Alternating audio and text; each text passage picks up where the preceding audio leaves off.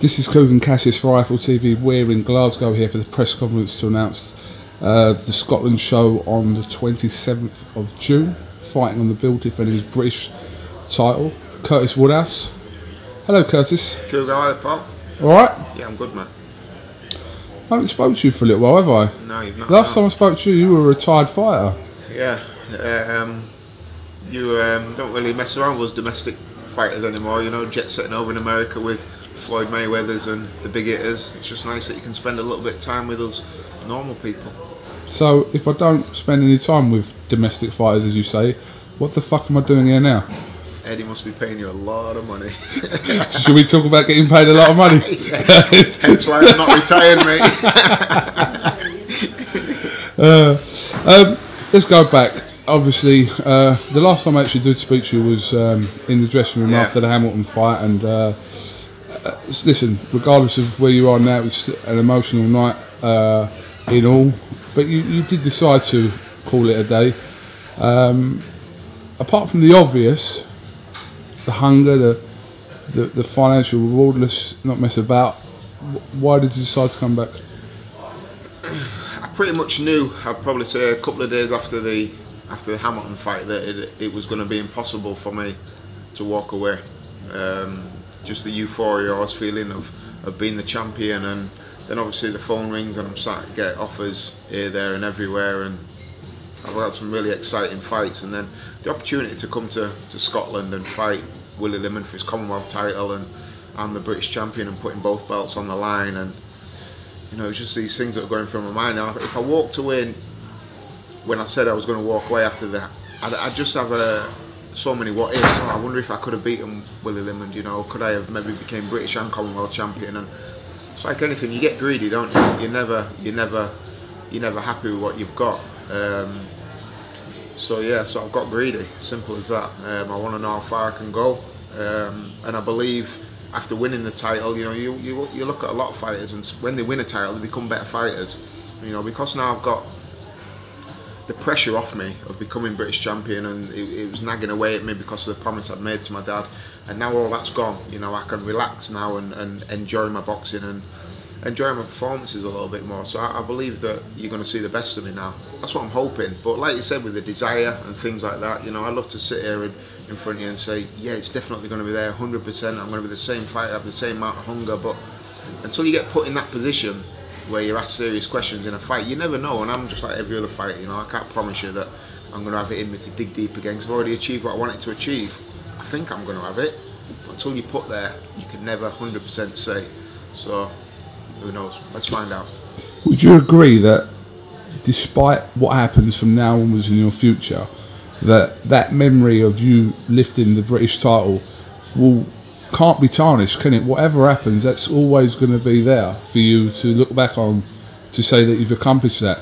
If you go on and pick up the Commonwealth and whatever else, then that's just an added bonus, surely. Yeah, 100%. Everything else now is a bonus. You know, the mission when I first put the gloves on was to become British champion. And no matter what happens in the rest of my career, February 22nd will always be the pinnacle. You know, and, that, and that's what I was fighting with, with myself. You know, everything I do now is never going to be, it's never going to be the same as that. You know, but it's like, Man United, they don't play Man City every day, but don't mean they stop playing. You know, there's still other big challenges out there for me, but February 22nd will always be the pinnacle. Ne- that'll never get topped to me ever, no matter whatever happens in my career. So I have the choice of, do I walk away and, and, and that be that, or or do I carry on going and try and achieve other things? You know, and uh, I've, de- I've decided to do the latter. You know, there's still loads loads out there for me to do, and like I said, I didn't turn professional until I was 26.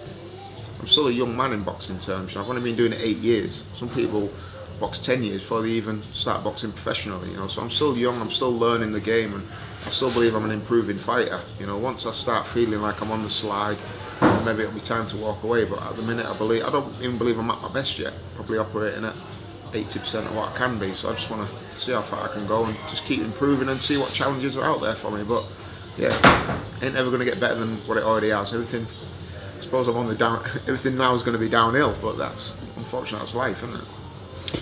Going back to the fight with Darren Hamilton, you were an underdog in that fight. Yeah. Uh, not saying no one gave you a chance, but the majority of people that were looking at the fight probably would have backed Hamilton.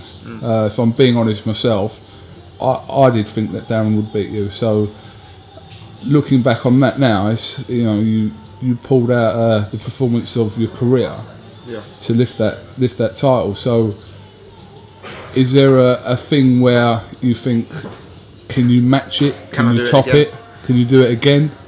I don't know.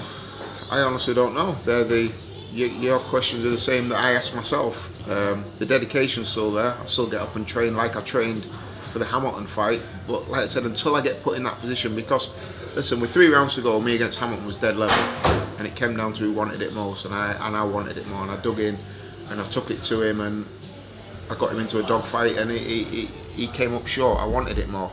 Now, if we get to that same position with Willie Limond, will I react the same? And I can't answer that question honestly until you get there. You never know. Um, so I don't know. Willie Limond, um, been around for a little while, and uh, looking at Older Willie's, than me, I think, innit? yeah, 35. How old are you? 34. Yeah. Um, Willie Limond's record, the defeats he's had to top class opposition. I mean, Yep.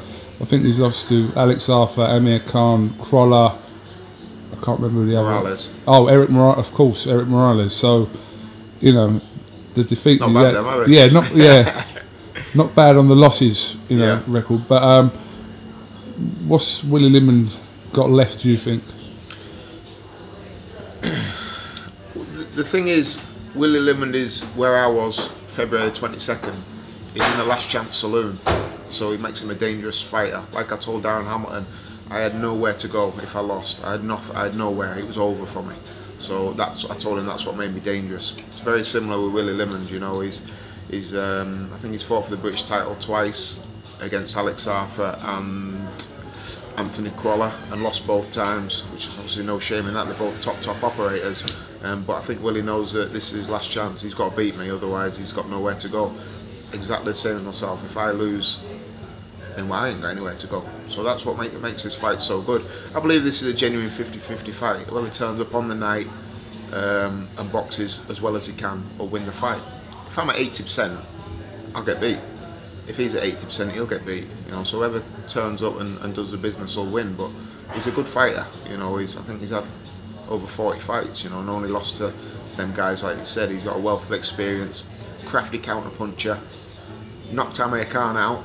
And the referee, don't know what was going on with the count, but slowest count I've ever seen in my life. So he's a good, good fighter. This is a tough, tough fight for me. And without blowing my own trumpet, I think I deserve quite a bit of respect for coming up to Scotland, putting my belt on the line in my first defence when there was easier options out there for me, you know. But I needed to, like I said, answer those questions that, that you had and that I've got myself whether I wanted it. So I needed a fight like this to to kind of ask myself them questions because this is going to be tough. I think it'll be it'll be one of them fights where we'll probably both get halfway in thinking, ain't enjoying this. I think it'll be that type of fight, you know. Let's see who wants it most. I think it'll be that type of fight. Um, but I think I'll grind him down and I think I'll stop him. What other options were there for you for this fight? Was Tommy Cole an option? Yeah, Tommy Cole was an option. Both teams spoke. That was probably a day away from being confirmed. Um, we got so close to having an agreement for that one in, in Hull. I got very close to being announced, um, but just fell through at the final final hurdle. Um, and then this fight got, got got offered me, and Eddie made me a fantastic offer to come up to Scotland. So here I am. Had the uh, Bradley Saunders fight got offered. Frank Warren made it public on Twitter that he'd offered me fifty thousand pounds to fight Bradley Saunders, um, and that was an option as well.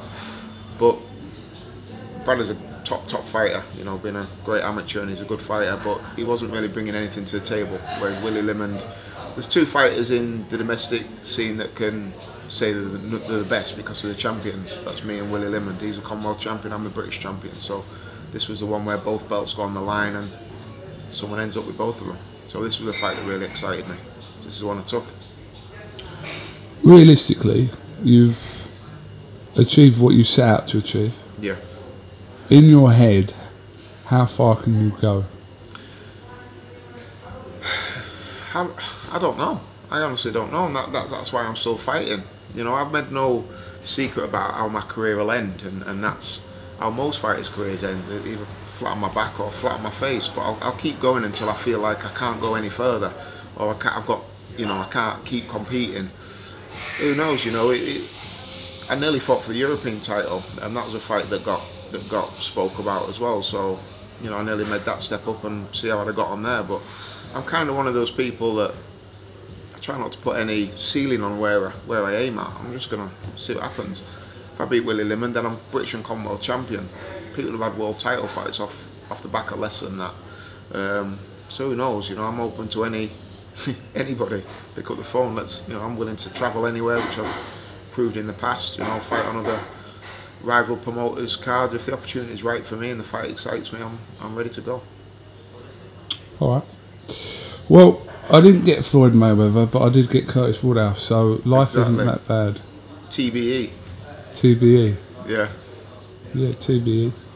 Oh, are you talking about for yourself or Floyd? What do you think? I'm talking, I think you're talking about you. Obviously myself. Yeah. Yeah, obviously.